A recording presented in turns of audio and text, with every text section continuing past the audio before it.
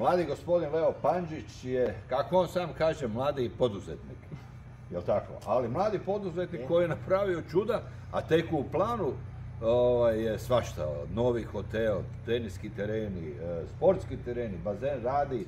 Mislim, ovaj zlatni luk se čini nekako malo mjesto, a u stvari je ogromno i ponuda je super.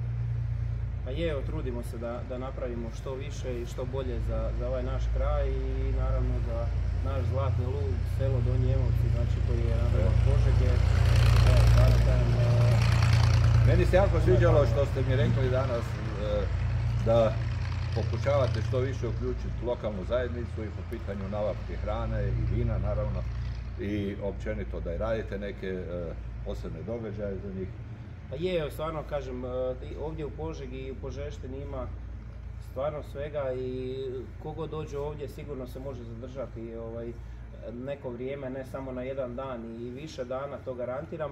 I kažem, ima puno lokalnih proizvođača, vinara i svega, tako da evo, maksimalno pokušavamo da sve- svi ljudi koji dođu ovdje da to i kušaju i da vide naše kvalitete.